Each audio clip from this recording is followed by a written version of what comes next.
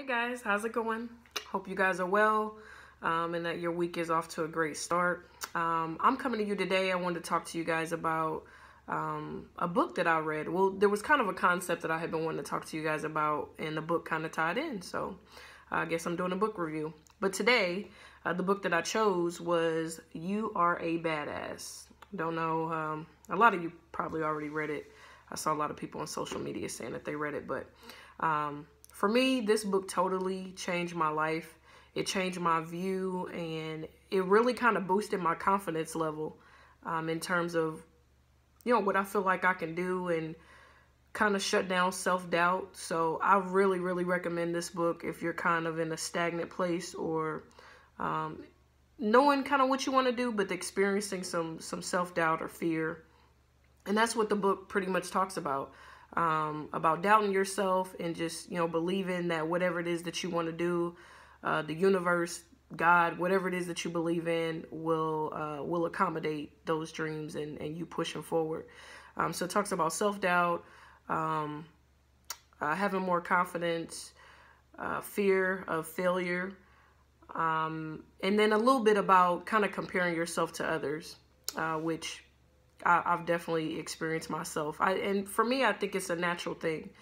A lot of people tell you, "Oh, you know, I don't worry about what other people are doing, and I don't compare myself to other people." And I mean, all that's nice, but um, realistically, I think we all at some point will take a look at other people. You know, you got social media, Instagram, people posting pretty much to every move, and so when you see that, and then you're looking at your life, you're looking at your peers, people you went to high school with, to college with. It's hard not to look at what they're doing and say, man, you know, I'm, you know, I'm not really where I should be, or I should be doing this and I should be doing that at this age.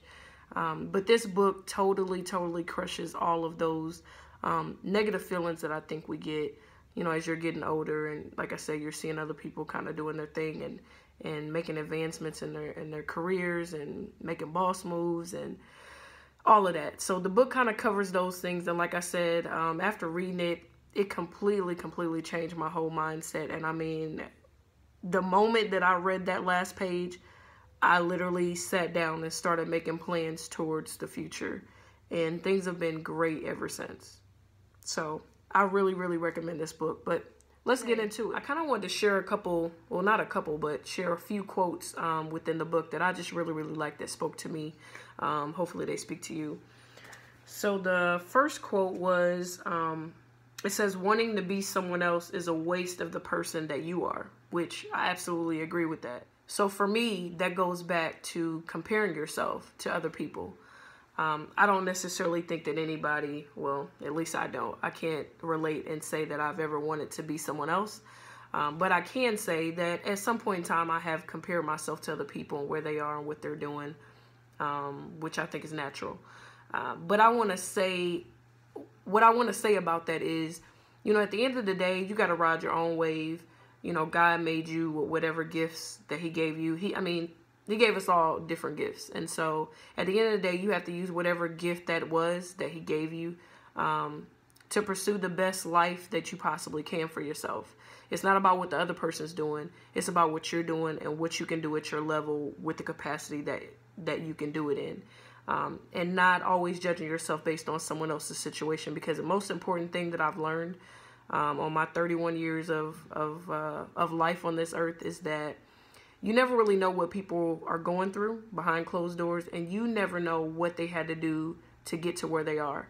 You know a lot of people look at someone with a nice house or a nice car and they're like oh man you know you're comparing yourself to them and it's like but do you know what all they had to go through to get that maybe they had to sacrifice time with their family, sacrifice time, you know, with their, their kids and loved ones and friends. And so, um, again, you don't know what someone went through or uh, what types of things that they had to sacrifice to get to that. It may not even be something that you'd be willing to sacrifice for. So just kind of a thought there. The next quote says, deciding is freedom. Indecisive, oh, can't talk. Deciding is freedom. Indecision is torture. Which I also can relate to. Um, me personally, I've always been a really, really indecisive person. And I can remember one of my friends telling me, maybe six or seven years ago, actually telling me, um, that how frustrated she got about the fact that I was always so indecisive. I never wanted to make decisions, and I've I've been like that pretty much for as long as I can remember. I never wanted to make decisions for me or for other people, um, mainly for other people. Uh, but even for myself, I found myself really indecisive about different things. I'll I'll come up with an idea about something, and then I'm like, uh, you know, I don't think that's for me. Um, so it's really been hard for me to just kind of hone in on the things that I should be doing and not to flip flop. So recently, you know, actually at the time that I was reading this book, I was kind of, I was in between figuring out kind of what I wanted to do in, in terms of, you know, career wise and, and that sort of thing. And, you know, and we, and reading this book, I was kind of like, what this lady is saying is make a decision it, it's torture to go back and forth. Well, should I do this and should I do that? And I think indecisiveness comes from the fear. So going back to to the factor of fear taking over and controlling your life, and you feeling like, well, what if I choose this and it's the wrong thing, or what if I choose that and it's wrong? Um, at the end of the day, we can't see the future. So for me, all of that goes back to having faith. You know, I don't know who you believe in, or you know, and that's none of my business, but um, whether you believe in the universe or you believe in God or whatever the case might be, you should have faith. And faith is something that we obviously can't see. We can't see what's in front of us.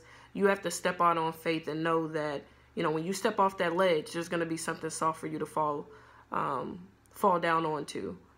And, and that's what having faith is all about. And once you, once you make a, a distinctive decision about doing something, then you need to stick with it and ride that thing all the way out. And if it doesn't work out, hey, that's life. Things happen. Um, you just pick yourself back up and um, and figure out whatever direction God is is taking you in. Maybe that was the wrong way. Um, but at the end of the day, that's what life is all about. You know, making decisions. You know, falling down, getting back up, and pushing forward. So, um, it's kind of my piece on that. So my next quote it says, stay away from people with tiny minds and tiny thoughts and start hanging out with people who see limitless possibilities as the reality. I've talked about this in one of my previous videos, how important it is to have the right people around in your circle. Um, now, granted, everybody doesn't have the luxury of having a bunch of friends who are like out here and they doing it and you know, they're entrepreneurs and they, they, you know, they're doing really well in their careers and they're inspiring you, you know, by you seeing what they're doing um, myself included. But what I will say is, um, I think it's better to have people around that's that's gonna push you, that's gonna challenge you, um, that's kind of in a way. Okay, let me say this: there's a healthy way of comparing yourself to other people. There's a healthy way in terms of you have a circle of friends and they really doing it, and looking at them is making you. It's not only giving you the confidence um, that if they can do it, you can do it. But um, you guys are kind of all challenging each other to be better. You know, you, you're not gonna be, you're not gonna want to be that one friend who's not doing anything with yourself. Like seeing them as they're evolving and they're growing and they're doing things and they're making big moves with their career, that's gonna make you want to do the same thing. So that's for me, that's healthy comparison. Um, and so the last quote that uh, that I really like out the book it says, on the other side of fear is freedom. And this is probably my favorite quote um, of the whole entire uh, whole entire book, actually.